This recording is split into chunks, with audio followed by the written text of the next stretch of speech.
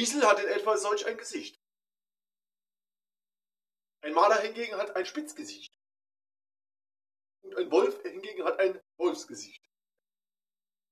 Nicht zu verwechseln mit dem deutschen Mickey Maus Hund. Er hat ein wieselschnäuziges Spitz, Spitzschnäuzchen, welches in der Lage ist, mit seinen, mit seinen großen Zähnen kleine Kanickel zu reißen. In der Tag- oder Nachtzeit. Äußerliches Merkmal dieses Mickey Maus Hundes ist es außerdem, einen ausgeprägten Drang zum Fressen zu verspüren. Des Weiteren hat der Marder mit dem Wiesel im Grunde nichts weiter gemeint, als dass sie Zeuge sind. Merke, bei TV Blau lernen wir mehr wie im Discovery Channel.